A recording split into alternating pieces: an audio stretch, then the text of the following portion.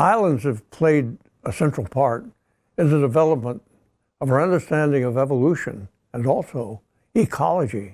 They are the laboratories of evolution.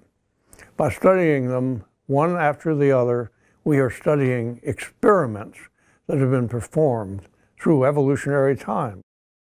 Of course, the largest island that biologists concern themselves is called planet Earth. The Earth is large and very difficult to study uh, the process of evolution every place it occurs. And so islands are microcosms. They're small examples of patches with definable boundaries in which we can study the species that exist there. Usually it's a very small subset of the species that occur on the Earth with a uh, much smaller population size, so one could actually have a hope of knowing and understanding everything that's going on within this particular set of species.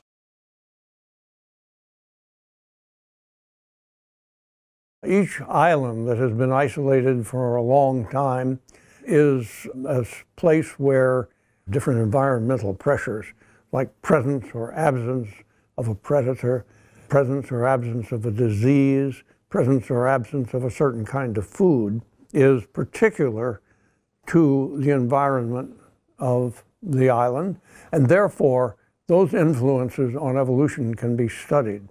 And the steps that lead to one form or another can be worked out by going from one island to the next to see the different degrees in which the process of evolution is unfolding.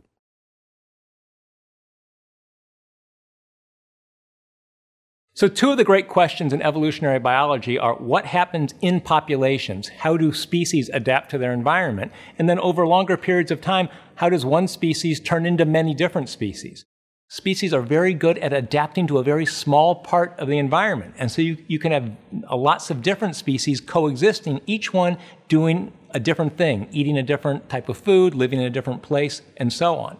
Then you go from one place to the next, you'll, you can have the same set of habitat types, but they're different species because they've been separated and evolved in different ways. And then over time, as more species evolve, other species evolve to utilize those species, to eat them, to use them as mutualists, and so on. And so, in that way, you end up with millions of species.